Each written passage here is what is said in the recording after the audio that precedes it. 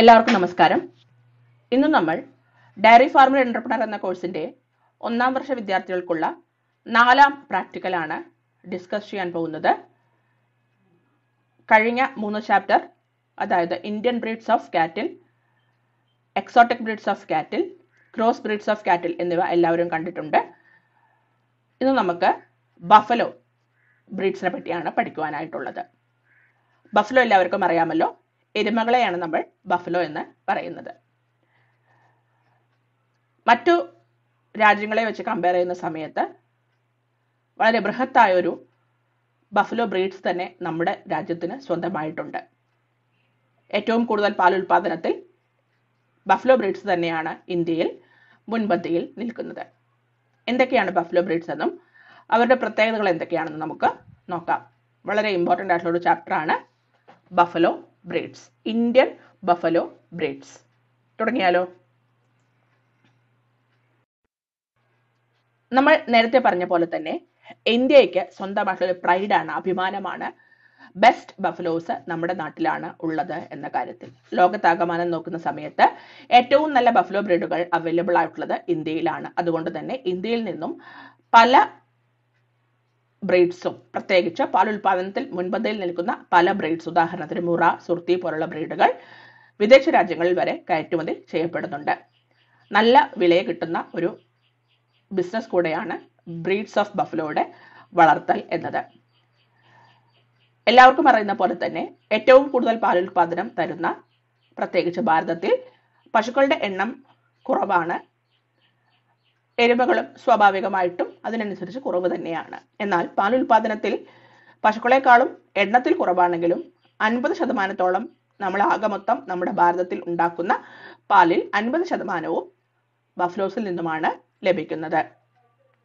നമ്മുടെ ഭാരതത്തിലെ കണക്ക് നോക്കുന്ന സമയത്ത് ഏറ്റവും പോപ്പുലർ ആയിട്ടുള്ള പതിമൂന്നോളം ബഫ്ലോ ബ്രീഡുകൾ ഇന്നും ഉണ്ട്.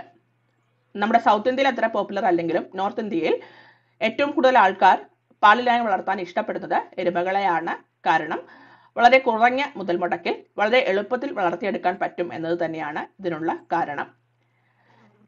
ഏകദേശം പതിമൂന്നോളം ഇൻഡിജീനസ് തന്നെ തനത് ഇന്ത്യൻ ബ്രീഡ്സ് തന്നെ നമ്മുടെ രാജ്യത്തുണ്ട് എന്നത് വളരെയധികം അഭിമാനകരമായിട്ടുള്ള ഒരു കാര്യമാണ്.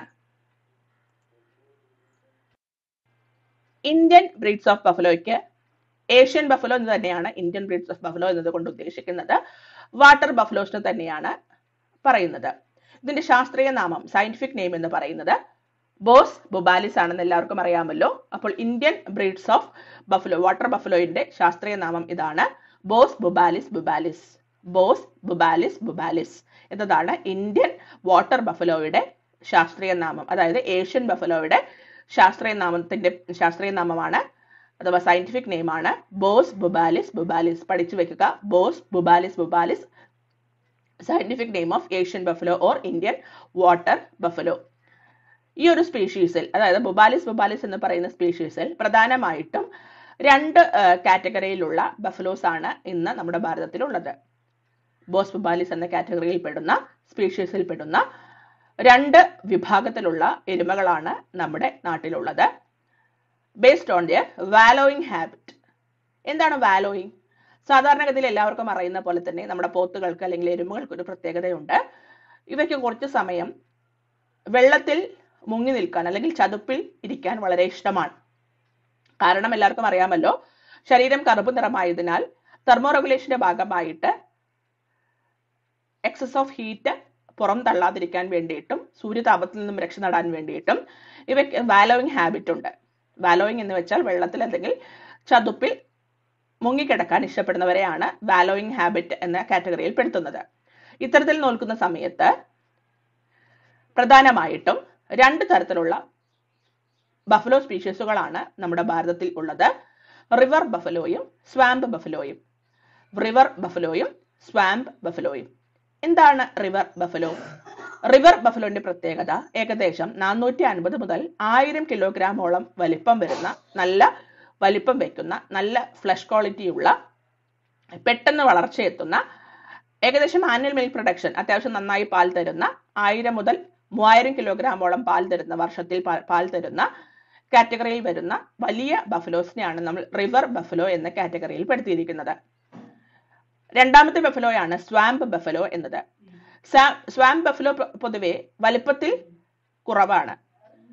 അവരുടെ വെയിറ്റ് എന്ന് പറയുന്നത് മെയിലിന്റെ അഡൽട്ട് വെയിറ്റ് എന്ന് പറയുന്നത് മുന്നൂറ്റി ഇരുപത്തി അഞ്ച് മുതൽ നാനൂറ്റി അൻപത് കിലോഗ്രാം ആണ് ആനുവൽ മിൽക്ക് പ്രൊഡക്ഷനും കുറവാണ് അറുന്നൂറ് കിലോഗ്രാം അപ്പോൾ അറിയാമല്ലോ റിവർ ബഫലോയ്ക്കാണ് വെയിറ്റിന്റെ കാര്യത്തിലായാലും മിൽക്ക് പ്രൊഡക്ഷന്റെ കാര്യത്തിലായും മുന്നിൽ നിൽക്കുന്നത് റിവർ ബഫലോസ് ആണ്. എന്നാൽ സ്വാം ബഫലോയ്ക്ക് ശരീരം വളരെ കുറ കുറവാണ് എന്ന് തന്നെ നമുക്ക് പറയാം.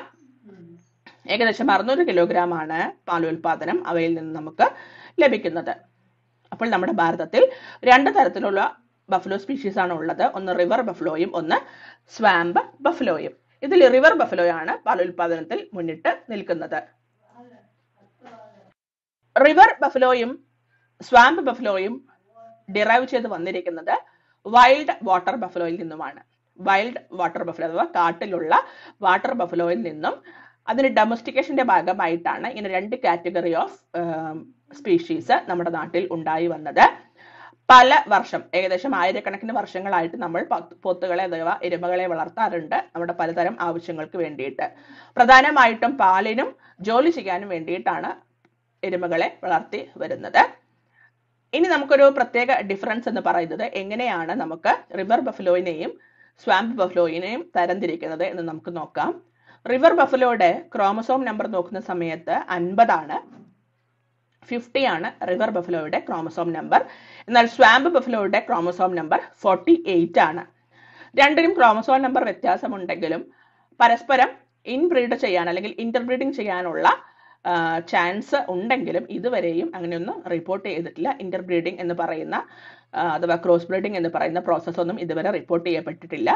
എന്നാൽ നമ്മൾ ലബോറട്ടറി കണ്ടീഷനിൽ ടെസ്റ്റ് ചെയ്ത് നോക്കിയ സമയത്ത് ബ്രോണം വളരുന്നുണ്ടെങ്കിലും ഒരു പരി സമയം എത്തുന്ന സമയത്ത് അത് ചത്തുപോകുന്നതായിട്ടാണ് കണ്ടിട്ടുള്ളത്. അതുകൊണ്ട് തന്നെ ആയിരിക്കാം natural method of interbreeding ഇവ തമ്മിൽ ഉണ്ടാവാറില്ല.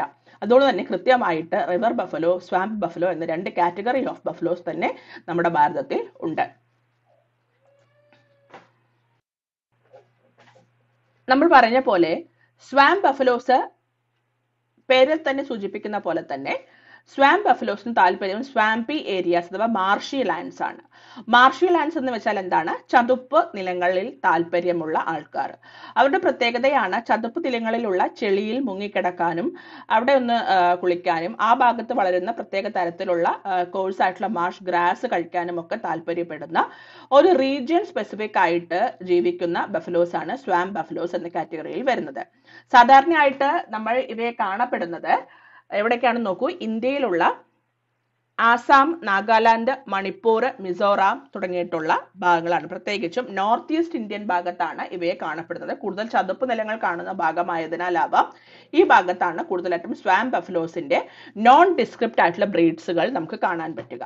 എന്താണ് നോൺ ഡിസ്ക്രിപ്റ്റ് ബ്രീഡ്സ് എന്ന് വെച്ചാൽ തദ്ദേശീയമായിട്ട് കാണുന്ന പ്രത്യേകിച്ച് വലിയ ബ്രീഡ് കാറ്റഗറി അല്ലെങ്കിൽ ക്വാളിറ്റീസ് ഒന്നും ഇല്ലാത്ത ബഫലോസിനെയാണ് നമ്മൾ നോൺ ഡിസ്ക്രിപ്റ്റ് എന്ന് പറയുന്നത്. നാടൻ പശുക്കൾ എന്ന് പറയുന്ന പോലെ നാടൻ എരുമകളാണ് സ്വാം ബഫ്ലോ എന്ന കാറ്റഗറിയിൽ കാണപ്പെടുന്നത്. അവർക്ക് പ്രത്യേകിച്ചും റീജിയൺ സ്പെസിഫിക് ആയിട്ടായിരിക്കും അവരെ കാണപ്പെടുന്നത്. എന്നാൽ റിവർ ബഫലോസ് എന്ന കാറ്റഗറിയിൽ വരുന്ന എരുമകൾ അഥവാ പോത്തുകൾ എന്ന് പറയുന്നവർക്ക് താല്പര്യം ശുദ്ധമായിട്ടുള്ള വെള്ളമാണ്. ക്ലീൻ വാട്ടർ ഓഫ് റിവർ അല്ലെങ്കിൽ ഇറിഗേഷൻ കനാൽ പോട്ട്സ് പോൺസ് തുടങ്ങിയിട്ടുള്ള കുളങ്ങളിലോ ശുദ്ധമായ ജലം എവിടെ കാണുന്നോ അവിടെയൊക്കെ അവർക്ക് താമസിക്കാൻ ഇഷ്ടപ്പെടുന്നവരാണ്.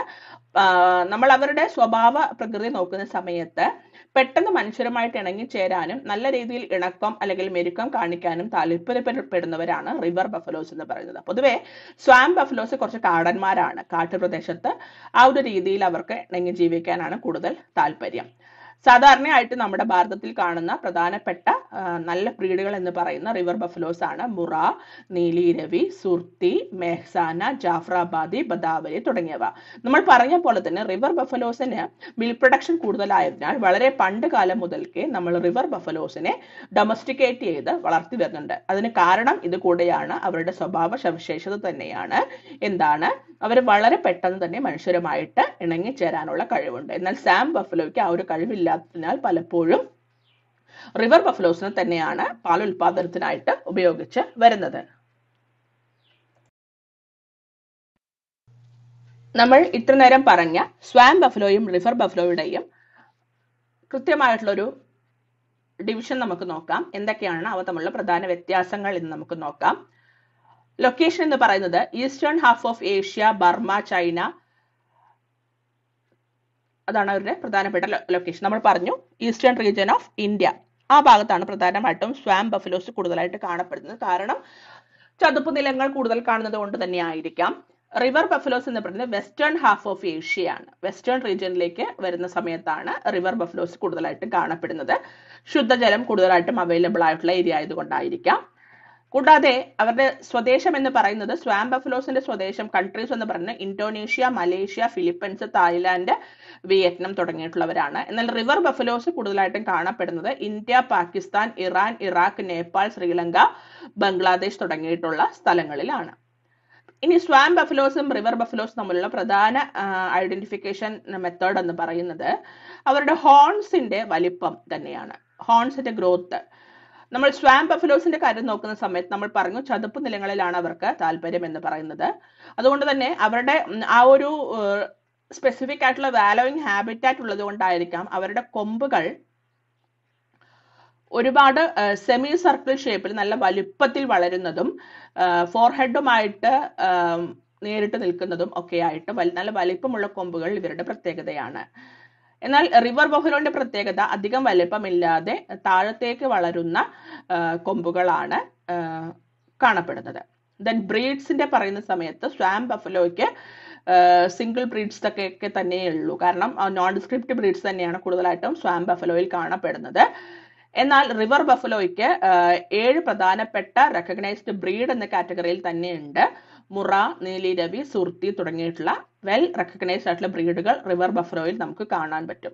എന്നാൽ സ്വാം ബഫലോസ് സിംഗിൾ ബ്രീഡ് ഒക്കെ തന്നെയേ ഉള്ളൂ. അതായത് ഓരോ സ്ഥലത്തും ഓരോ പേരുകളിൽ അറിയപ്പെടുന്നു എന്ന് മാത്രം. കൂടാതെ അവരുടെ വാലോയിങ് ഹാബിറ്റ് എന്ന് പറയുന്ന സമയത്ത് സ്വാം ബഫലോസിന് ഇഷ്ടം എപ്പോഴും നമ്മൾ പറഞ്ഞ പോലെ തന്നെ സ്വാംപ് റീജിയൻസിലാണ് അതായത് ചതുപ്പ് നിലങ്ങളിൽ താമസിക്കാൻ ഇഷ്ടപ്പെടുന്നവരും അത് ചളുപ്പ് ചതുപ്പുള്ള ചെളിയിൽ മുങ്ങി നിൽക്കാനൊക്കെ ഇഷ്ടപ്പെടുന്നവരുമാണ് സ്വാം ബഫലോസിൽ പ്രധാനമായിട്ടും കാണപ്പെടുന്നത്.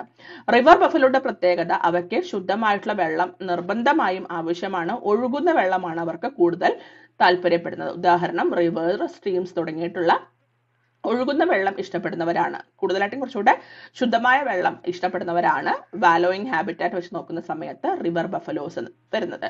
ഇനി നമ്മൾ പറഞ്ഞ ക്രോംസോം നമ്പർ ആണ്. ഫോർട്ടി എയ്റ്റ് ആണ് സ്വാം ബഫലോയുടെ ക്രോമസോം നമ്പർ. എന്നാൽ ഫിഫ്റ്റി ആണ് റിവർ ബഫലോയുടെ ക്രോമസോം നമ്പർ. പർപ്പസ് വെച്ച് നോക്കുന്ന സമയത്ത് സ്വാം ബഫലോസിന് സാധാരണഗതിയിൽ നമ്മൾ പറഞ്ഞു കുറച്ച് വൈൽഡ് ഹാബിറ്റ് ആണ് അവർക്ക് താല്പര്യം.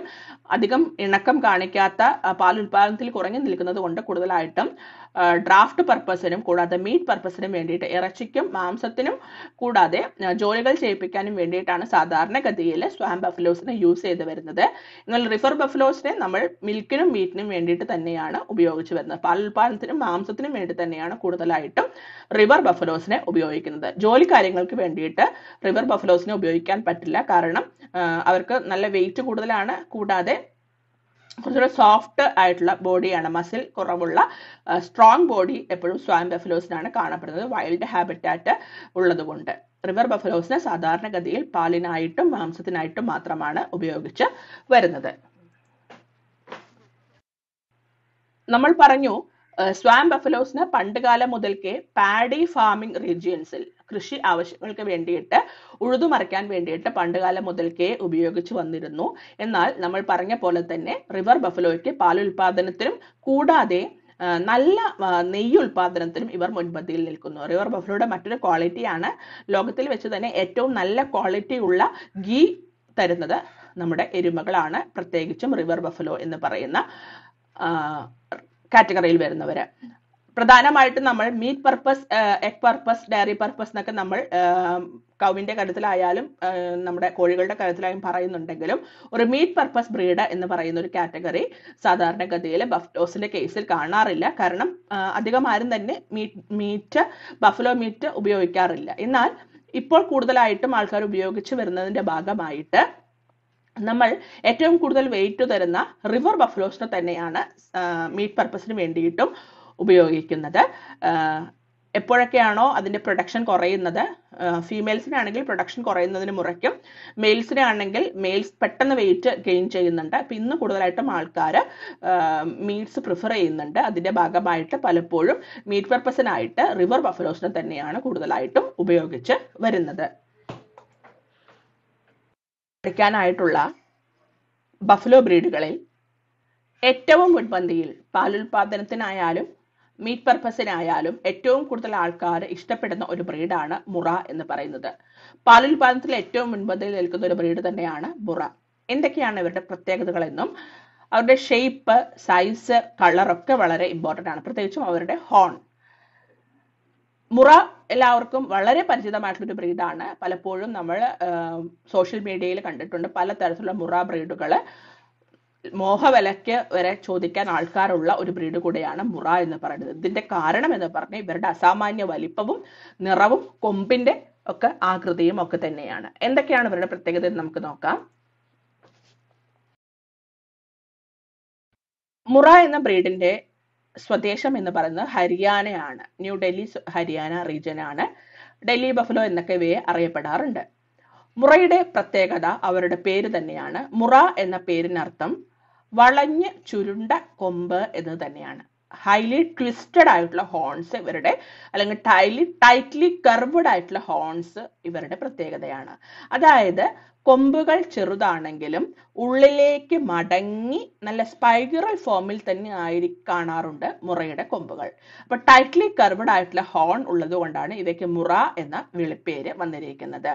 ഇവരുടെ മറ്റൊരു പ്രത്യേകതയാണ് അവരുടെ നിറം എണ്ണക്കറുപ്പിന്റെ നിറം എന്ന് പറയുന്ന ജെറ്റ് ബ്ലാക്ക് കളർ നല്ല ഇരുണ്ട തിളക്കമുള്ള കറുത്ത നിറം. നല്ല കരുത്ത കറുപ്പ് എന്ന് പറയുന്ന നല്ല കറുപ്പ് എന്ന് പറയുന്ന എണ്ണക്കറുപ്പ് എന്ന് പറയുന്ന നല്ല കറുത്ത നിറം ജെറ്റ് ബ്ലാക്ക് കളറാണ് ഇവരുടെ മറ്റൊരു പ്രത്യേകത.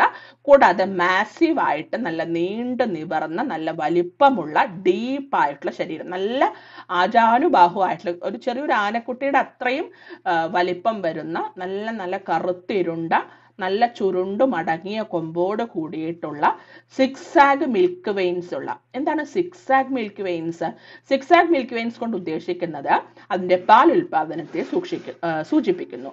മിൽക്ക് വെയിൻസ് സ്ട്രെയിറ്റ് ആണെങ്കിൽ പാൽ ഉൽപാദനം കുറവായിരിക്കും. സിക്സാഗ് എന്ന് പറയുമ്പോൾ എന്താണ്? സെഡ് ആകൃതിയിൽ മടങ്ങി മടങ്ങിയിരിക്കുന്നത്. ഇത് പാൽ ഉൽപാദനത്തിനെ സൂചിപ്പിക്കുന്നു. അപ്പോൾ നല്ല രീതിയിൽ പാൽ ഉൽപാദനം തരുന്ന നല്ല കറുത്ത നിറമുള്ള ജെറ്റ് ബ്ലാക്ക് ഓർമ്മിക്കുക ജെറ്റ് ബ്ലാക്ക് കളറുള്ള ടൈറ്റ്ലി കർവഡ് ആയിട്ടുള്ള ഹോൺസ് ഉള്ള ഹരിയാനയും ഡൽഹിയും സ്വദേശമായിട്ടുള്ള ബ്രീഡാണ് മുറ എന്ന് പറയുന്നത്. ഇവരുടെ പ്രത്യേകത പേര് സൂചിപ്പിക്കുന്ന പോലെ തന്നെ ടൈറ്റ്ലി കർവ്ഡ് ആയിട്ടുള്ള ഹോൺ ആണ്. ലാക്ടേഷൻ എന്ന് പറയുന്നത് thousand two two thousand kilogram per lactation per kilogram per lactation ആണ്. കൂടാതെ ഇവരുടെ പ്രത്യേകതയാണ് സെവൻ പോയിന്റ് ത്രീ ഫാറ്റ് ഉണ്ടെന്ന്. നമ്മൾ പറഞ്ഞ പോലെ തന്നെ ഏറ്റവും നല്ല നെയ്യ് കിട്ടുന്നത് ബഫലോ നെയ്യാണെന്ന് നമ്മൾ പറഞ്ഞല്ലോ. ഇതിന് കാരണം അവരുടെ പാലിലുള്ള ഫാറ്റിന്റെ പ്രസൻസ് തന്നെയാണ്. ഏകദേശം സെവൻ പോയിന്റ് ത്രീ പെർസെന്റേജോളം ഫാറ്റ് ഉള്ള പാലാണ് ബഫലോയ്ക്ക് ഉള്ളത്. ലോകത്തിൽ വെച്ച് നോക്കുന്ന സമയത്ത് ഏറ്റവും ബെസ്റ്റ് ബഫലോ ബ്രീഡാണ് മുറ. ഓർത്ത് വെക്കുക മുറ. ഒരിക്കലും മറക്കരുത്. എപ്പോഴും പരീക്ഷയ്ക്ക് ചോദിക്കുന്ന ഒരു ഭാഗമാണ് മുറ ബഫലോ എന്ന് പറയുന്നത്. ഡൽഹി ബഫലോ എന്ന പേരിൽ കൂടെ അറിയപ്പെടുന്നു. Jet black colour tightly curved horn and with fat seven point three percentage fat in fat in milk best Indian buffalo in the world അടുത്ത ബ്രീഡാണ് സുർത്തി. ഒരു കാലത്ത് നമ്മുടെ കേരളത്തിൽ ഒരുപാട് ഉണ്ടായിരുന്ന ഒരു ബ്രീഡായിരുന്നു. എന്നാൽ മുറയുടെ വരവോടുകൂടി ഇല്ലാതായ ഒരു ബ്രീഡ് കൂടെയാണ് സുർത്തി എന്ന് പറയുന്നത്. നമ്മൾക്ക് കാലന്റെ വാഹനം എന്ന് പറയുന്ന സമയത്ത് നമ്മുടെ മനസ്സിലേക്ക് തിളങ്ങി വരുന്ന ഒരു പോത്തുണ്ടല്ലോ. അതാണ് സുർത്തി എന്ന് പറയുന്ന ബ്രീഡ്. നല്ല വളഞ്ഞ സിക്കിൾ ഷേപ്പിലുള്ള കൊമ്പുകൾ ഇവരുടെ പ്രത്യേകതയാണ്. അരിവാൾ ആകൃതിയിലുള്ള പുറകോട്ട് വളഞ്ഞ നല്ല വലിപ്പമുള്ള കൊമ്പുകൾ ഇവരുടെ പ്രത്യേകതയാണ് സുർത്തി എന്ന് പറയുന്ന ബ്രീഡ്. സുർത്തി ബ്രിഡിന്റെ സ്വദേശം എന്ന് പറയുന്നത് ഗുജറാത്ത് ആണ് ഇവരുടെ നിറം നല്ല കറുപ്പല്ല ഒരു ബ്രൗണിഷ് അല്ലെങ്കിൽ സിൽവർ ഗ്രേ കളറാണ് ഇവരുടെ പ്രത്യേകത. ചാരം കലർന്ന കറുപ്പ് നിറമാണ് ഇവരുടെ പ്രത്യേകത. പ്രത്യേകിച്ചിട്ടും സിക്കിൾ ഷേപ്ഡ് ഹോൺ അരിവാൾ ആകൃതിയിലുള്ള ഹോൺ ഇവരുടെ പ്രത്യേകതയാണ്. അപ്പൊ മുറയും സുഹൃത്തും തമ്മിലുള്ള പ്രധാന വ്യത്യാസം ഒന്ന് നിറം. ജെറ്റ് ബ്ലാക്ക് ആണ് മുറയുടെ നിറമെങ്കിൽ ഇവിടെ സിൽവർ ഗ്രേ കളറാണ് നിറം. കൂടാതെ അവിടെ ടൈറ്റ്ലി കർവ്ഡ് ഹോൺസ് ആണെങ്കിൽ ഇവിടെ സിക്കിൾ ഷേപ്ഡ് ഹോൺസ് ആണ് സുഹൃത്തുക്ക് ഉള്ളത്. മറ്റൊരു പ്രധാനപ്പെട്ട ഒരു പ്രത്യേകത എന്ന് പറയുന്നത് ഇവയ്ക്ക് കഴുത്തിന് താഴ്ഭാഗത്തായിട്ട് നെക്കിന്റെ ഭാഗത്തായിട്ടും ചെവിയുടെ below the neck and in between ears കഴുത്തിന് താഴ്ഭാഗത്തായിട്ടും ചെവിയുടെ ഇടയിലായിട്ടും രണ്ട് ചെവിയുടെ ഇടയിലായിട്ടും രണ്ട് വൈറ്റ് ഷെവറോൺ ബാൻഡ്സ് നമുക്ക് കാണാൻ പറ്റും. വര പോലെ നമുക്ക് ബാൻഡ് പോലെ നമുക്ക് കാണാൻ പറ്റും. ഷെവറോൺ എന്നാണ് വിളിക്കുന്നത്. Two white band below the neck കഴുത്തിന് താഴ്ഭാഗത്തായിട്ടും കൂടാതെ ചെവിയുടെ ഇടവശ ഇട ഇടയിലായിട്ടും രണ്ട് വെളുത്ത വരകൾ നമുക്ക് ഇവരെ ശരീരത്തിൽ കാണാൻ പറ്റും. അത് പ്യുവർ ബ്രീഡ്സിന് കാണാൻ പറ്റുന്ന ഒരു ക്വാളിറ്റിയാണ് എന്തായാലും സിക്കിൾ ഷേപ്ഡ് ഹോൺസ് ഉള്ള സിൽവർ ഗ്രേ കളറുള്ള ഏകദേശം മിൽക്ക് എന്ന് പറയുന്നത് thousand two thousand five hundred kilogram per lactation ആണ് അവരുടെ പാലുൽപാദനം. മറ്റൊരു പ്രത്യേകത എന്ന് പറയുന്നത് ആനന്ദ് മിൽക്ക് യൂണിയൻ. എല്ലാവർക്കും അറിയുമായിരിക്കും. അമൂൽ എന്ന പേരിൽ അറിയപ്പെടുന്ന ആനന്ദ് മിൽക്ക് യൂണിയൻ ലിമിറ്റഡ്. ഗുജറാത്തിലുള്ള അമൂൽ എന്ന കമ്പനി എന്ന ഒരു കോപ്പറേറ്റീവ് സൊസൈറ്റി ഉണ്ട്. അതിലെ ഏറ്റവും കൂടുതൽ എണ്ണം ഉള്ള മെയിൻ സ്റ്റേ ആണ് സുർത്തി എന്ന് പറയുന്ന ബഫലോ ബ്രീഡ്. അപ്പോൾ അമൂൽ അനന്ത് മിൽക്ക് യൂണിയനിലെ മെയിൻ സ്റ്റേ ആണ് സുർത്തി എന്ന് പറയുന്ന ബ്രീഡ്. സ്വദേശം ഗുജറാത്താണ്. സിക്കിൾ ആണ് ഇവരുടെ കൊമ്പുകൾ. കളർ സിൽവർ ഗ്രേ കളർ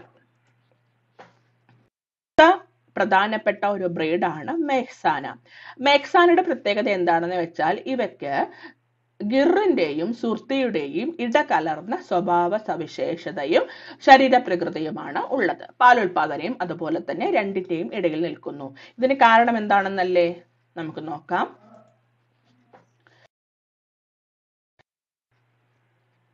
മേക്സാന എന്ന് പറയുന്ന ബ്രീഡിന്റെ പ്രത്യേകത നമ്മൾ പറഞ്ഞു.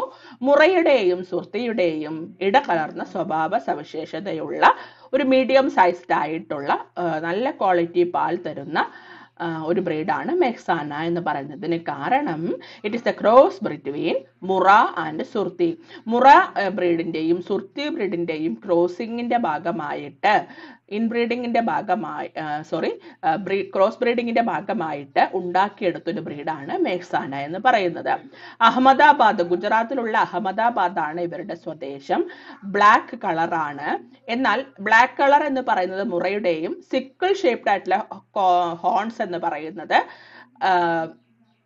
മുറയുടെയും സുർത്തിയുടെയും കോമ്പിനേഷൻ ആയിട്ട് വരുന്നതാണ്. അപ്പൊ ബ്ലാക്ക് കളറും സിക്കിൾ ഷേപ്ഡ് ഹോൺസ് കുറച്ചുകൂടെ ബെൻഡായി കാണുന്ന സിക്കിൾ ഷേപ്ഡ് ഹോൺസും ആണ് ഇവരുടെ പ്രത്യേകത. പാലുൽപാദനം ആയിരത്തി അഞ്ഞൂറ് മുതൽ രണ്ടായിരം കിലോഗ്രാം പെർ ലാക്ടേഷൻ ആണ്. കൂടാതെ കണ്ടിന്യൂസ് ആയിട്ട് നമ്മൾ പെർസിസ്റ്റന്റ് ആയിട്ട് മിൽക്കിംഗ് തരും. അതായത് കണ്ടിന്യൂസ് ആയിട്ട് ഒരളവ് ഇതിൽ നിന്നും എപ്പോഴും പ്രതീക്ഷിക്കാം. ഫാറ്റ് പെർസെന്റേജ് എന്ന് പറയുന്നത് സെവൻ ആണ്. അപ്പൊ മെക്സാന എന്ന് പറയുന്ന ബ്രീഡ് മുറയുടെയും സുർത്തിയുടെയും ക്രോസ് ബ്രീഡാണ് രണ്ടിന്റെയും സ്വഭാവ സവിശേഷതകളുള്ള മീഡിയം സൈസ്ഡ് ആയിട്ടുള്ള ബ്ലാക്ക് കളറുള്ള ഒരു സെമി സിക്കിൾ ഷേപ്ഡ് ആയിട്ടുള്ള കൊമ്പുകളുള്ള ബ്രീഡാണ് മെക്സാന എന്ന് പറയുന്നത്.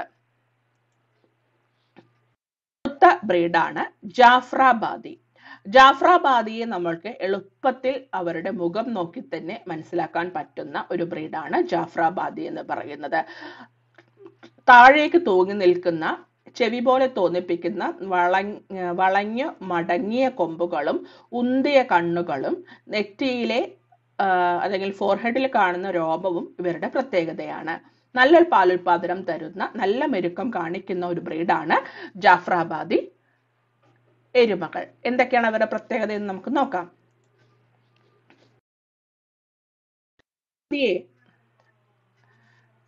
ജാഫ്രാബാദി ബ്രീഡുകളെ നമ്മൾക്ക് ഒറ്റ നോട്ടത്തിൽ നമുക്ക് തന്നെ തിരിച്ചറിയാം. കാരണം അവരുടെ മുഖത്തിന്റെ സവിശേഷതയാണ്. ഏകദേശം നമ്മുടെ ഗിർ പശുവിന് സാമ്യം തോന്നിപ്പിക്കുന്ന ഒരു ബ്രീഡ് കൂടെയാണ് ജാഫ്രാബാദ്. തൂങ്ങിക്കിടക്കുന്ന താഴേക്ക് തൂങ്ങിക്കിടക്കുന്ന കൊമ്പുകൾ ഇവരുടെ പ്രത്യേകതയാണ്. സ്വാഭാവികമായിട്ടും ഇവരുടെ ജന്മദേശം എവിടെയാണെന്ന് നോക്കൂ. ഗിർ ഫോറസ്റ്റ് ആണ്. നമ്മൾ ഗിർ പശു എന്ന് പറഞ്ഞുല്ലോ അപ്പൊ എളുപ്പത്തിൽ നമുക്ക് മനസ്സിലാക്കാനായിട്ട് ജാഫ്രാബാദിയും ഗിർ പശുവും തമ്മിലൊന്ന് കണക്ട് ചെയ്യിപ്പിക്കുക. ഗിർ ഫോറസ്റ്റ് ഗുജറാത്തിലുള്ള ഗിർ ഫോറസ്റ്റ് തന്നെയാണ് ജാഫ്രാബാദി. എരുമകളുടെ സ്വദേശം. കറുത്ത നിറമുള്ള നല്ല രീതിയിലുള്ള സൈസ് വരുന്ന prominent broad and convex forehead നല്ല ഉന്തിയ കോൺവെക്സ് ഷേപ്പിലുള്ള ഫോർഹെഡ് ഉള്ള പലപ്പോഴും ഈ ഫോർഹെഡിൽ രോമം നമുക്ക് കാണാൻ പറ്റും. നല്ല വളഞ്ഞ വളകൾ പോലുള്ള റിങ് പോലെ വളയങ്ങൾ പോലുള്ള താഴേക്ക് തൂങ്ങിക്കിടക്കുന്ന കൊമ്പുകളും ഏകദേശം രണ്ടായിരം കിലോഗ്രാമോളം പാൽ തരുന്ന ഒരു ലാക്ടേഷൻ പീരീഡിൽ രണ്ടായിരം കിലോഗ്രാമോളം പാൽ തരുന്ന ഒരു പശു സോറി എരുമ ആണ് ജാഫ്രാബാദി എന്ന് പറയുന്നത്. ഫാറ്റ് പെർസെന്റേജ് നോക്കൂ സെവൻ പോയിന്റ് സിക്സ് പേര് പറഞ്ഞ പോലെ തന്നെ നല്ല വലിപ്പമുള്ള ഹെവിയസ്റ്റ് ബ്രീഡാണ് ഗിർ എന്ന് പറയുന്നത്. നല്ല വലിപ്പമുള്ള മാംസം ശേഷി കൂടുതലുള്ള ഒരു ബ്രീഡാണ് ജാഫ്രാബാദി. സ്വാഭാവികമായിട്ടും ജാഫ്രാബാദിയെ പലപ്പോഴും മെയിൽസിനെ മീറ്റ് പർപ്പസിന് വേണ്ടിയിട്ടും ഉപയോഗിക്കാറുണ്ട്. അപ്പോൾ ജാഫ്രാബാദിയുടെ പ്രത്യേകത എന്തൊക്കെയാണ്? സ്വദേശം ഗിർ ഫോറസ്റ്റ് ഗുജറാത്ത് ആണ് കറുത്ത നിറമാണ് broad prominent forehead with ring like horns ഇവരുടെ പ്രത്യേകതയാണ്. രണ്ടായിരം കിലോഗ്രാം പെർ ലാക്ടേഷൻ തരുന്ന ഉയർന്ന പാൽ ഉൽപാദനമുള്ള seven point six percentage fat ഉള്ള പാലുള്ള ഹെവിയസ്റ്റ് ബ്രീഡായിട്ടുള്ള ഗിർ റീജിയണിൽ ജനിച്ചു വളർന്ന ഗിർ ഫോറസ്റ്റ് ഗുജറാത്തിൽ ജനിച്ചു വളർന്ന ബ്രീഡാണ് ജാഫ്രാബാദി. ഒറ്റ നോട്ടത്തിൽ തന്നെ നമുക്ക് മറക്കാതെ ഓർമ്മയിൽ നിൽക്കുന്ന ഒരു ബ്രീഡാണ് ജാഫ്രാബാദി എന്ന് പറയുന്ന ബ്രീഡ്. അടുത്ത ബ്രീഡാണ് നാഗ്പൂരി. നാഗ്പൂരി ബ്രീഡുകൾ പേരിൽ സൂചിപ്പിക്കുന്ന പോലെ തന്നെ നാഗ്പൂർ എന്ന് പറയുന്ന ഭാഗത്താണ് ഇവരുടെ സ്വദേശം. പ്രത്യേകത എന്ന് പറയുന്നത് അവരുടെ കൊമ്പുകൾ തന്നെയാണ്. പുറകോട്ട് വളഞ്ഞ് മുകളിലേക്ക് നിൽക്കുന്ന മുകൾ പുറകോട്ട് വളർന്ന് മുകളിലേക്ക് വളഞ്ഞു നിൽക്കുന്ന തരത്തിലുള്ള കൊമ്പുകൾ നല്ല നീളമുള്ള കൊമ്പുകൾ ഇവരുടെ പ്രത്യേകതയാണ്.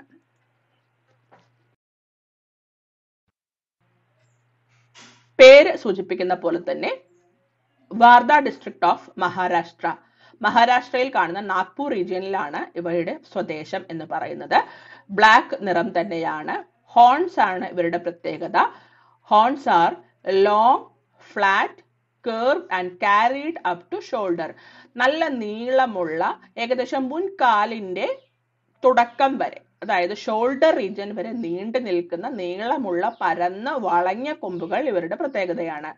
പാലുൽപാദനത്തിൽ കുറച്ച് പിന്നോട്ടാണ് അതായത് ആയിരം കിലോഗ്രാം പെർ ലാക്ടേഷൻ ആണ് ഇവരുടെ പാലുൽപാദനം എന്നാൽ ഫാറ്റ് പെർസെന്റേജ് വളരെ കൂടുതലാണ് seven to eight point five ഇവരുടെ പ്രത്യേകത they are dual purpose breed പാലിനും draught പർപ്പസിന് വേണ്ടിയിട്ടും നമുക്ക് ഒരേപോലെ ഉപയോഗിക്കാവുന്ന ഒരു ബ്രീഡാണ് നാഗ്പൂരി ബ്രീഡ് എന്ന് പറയുന്നത്. പാൽ പാലുൽപാദനത്തിൽ കവിഞ്ഞ് ഇവയെ സാധാരണമായിട്ട് നമ്മൾ ഡ്രോട്ട് പർപ്പസിന് വേണ്ടിയിട്ടാണ് ജോലികൾ ചെയ്യിപ്പിക്കുവാൻ വേണ്ടിയിട്ടാണ് കൂടുതലായിട്ടും ഉപയോഗിച്ച് വരുന്നത്. അപ്പൊ നാഗ്പൂരി ബ്രീഡിന്റെ പ്രത്യേകത നാഗ്പൂർ റീജിയൻ ആണ് ഇവരുടെ സ്വദേശം. മഹാരാഷ്ട്രയിലുള്ള നാഗ്പൂർ റീജിയൻ ആണ് ഇവരുടെ സ്വദേശം. കറുത്ത നിറത്തിലുള്ള ശരീരവും നല്ല നീണ്ട ഷോൾഡർ വരെ നീണ്ടു നിൽക്കുന്ന നല്ല നീണ്ട വളഞ്ഞ കൊമ്പുകളും ഇവരുടെ പ്രത്യേകതയാണ്. ഇതൊരു ഡ്വൽ പർപ്പസ് ബ്രീഡാണ്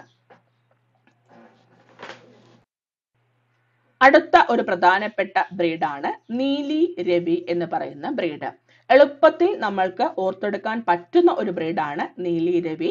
നമ്മുടെ എച്ച് എഫിനോട് വളരെയധികം രൂപ സാദൃശ്യമുള്ള ഹോസ്റ്റിൻ ഫിഷ് എന്ന കവുമായിട്ട് വളരെയധികം രൂപ സാദൃശ്യമുള്ള ഒരു ബ്രീഡ് ഓഫ് ബഫലോ ആണ് നീലി രവി. എന്തൊക്കെയാണ് അവരുടെ പ്രത്യേകത എന്ന് നമുക്ക് ഒറ്റ നോട്ടത്തിൽ തന്നെ മനസ്സിലാകാം. എന്തൊക്കെയാണ് നോക്കൂ. ഇന്ത്യൻ ബ്രീഡാണ് പറയുന്നതെങ്കിലും അതിന്റെ സ്വദേശം ജന്മദേശം എന്ന് പറയുന്നത് പാകിസ്ഥാനാണ്. എന്നാൽ ഇവരുടെ കളർ ആണ് പ്രത്യേകത. ബ്ലാക്ക് ടു ബ്രൗൺ കളർ കറുപ്പ് മുതൽ ബ്രൗണിഷ് കളറായിട്ട് നമുക്ക് കാണാൻ പറ്റും.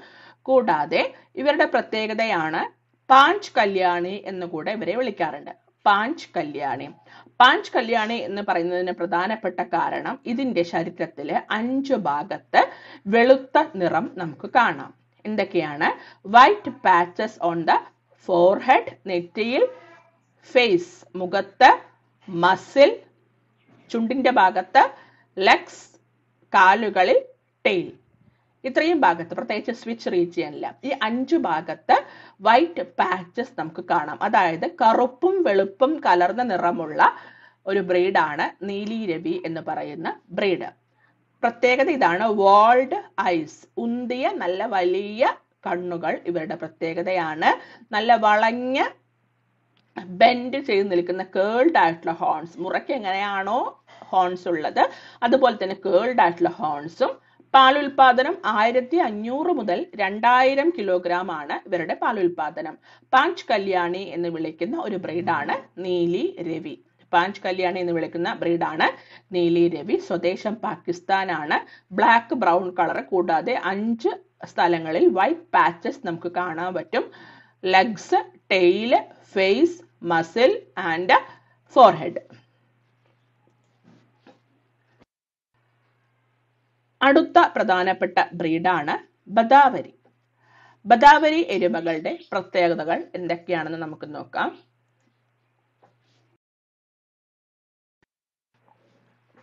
ബദാവരി എരുമകളുടെ സ്വദേശം. യു പി ഉത്തർപ്രദേശും മധ്യപ്രദേശുമാണ്. പ്രത്യേകത ഇതാണ് ബ്ലാക്കിഷ് കോപ്പർ കളറാണ് ബ്ലാക്കിൽ ഒരു ബ്രൗണിഷ് കളറായിട്ട് കാണുന്ന പ്രത്യേക തരത്തിലുള്ള ഒരു ബ്രീഡാണ് ബദാവരി എന്ന് പറയുന്ന ബ്രീഡ് ഇവരുടെ പ്രത്യേകത കഴുത്തിന് താഴ്വശത്തായിട്ട് കാണുന്ന രണ്ട് വെളുത്ത വരകളാണ്. മീഡിയം സൈസ്ഡ് ആയിട്ടുള്ള കുറഞ്ഞ പാലുൽപാദനം തരുന്ന എന്നാൽ ഫാറ്റ് പെർസെന്റേജ് ഏറ്റവും കൂടുതലുള്ള ഒരു ബ്രീഡ് കൂടെയാണ് പദാവരി ഏകദേശം ആറ് മുതൽ പന്ത്രണ്ട് പോയിന്റ് അഞ്ച് ശതമാനമാണ് ഇവരുടെ ഫാറ്റ് ആറ് മുതൽ പന്ത്രണ്ട് പോയിന്റ് അഞ്ച്. Known for their highest fat content milk ഏറ്റവും കൂടുതൽ പാ- കൊഴുപ്പുള്ള ഫാറ്റ് കണ്ടന്റ് ഉള്ള പാൽ തരുന്ന ഒരു എരുമയാണ് ബദാവരി എന്ന് പറയുന്ന എരുമ. ഐഡന്റിഫിക്കേഷൻ എന്ന് പറയുന്നത് മീഡിയം സൈസ് ആണ് ബ്ലാക്കിഷ് കോപ്പർ കളറാണ് കഴുത്തിന് താഴ്വശത്തായിട്ട് രണ്ട് വെളുത്ത വരകൾ നമുക്ക് കാണാൻ പറ്റും.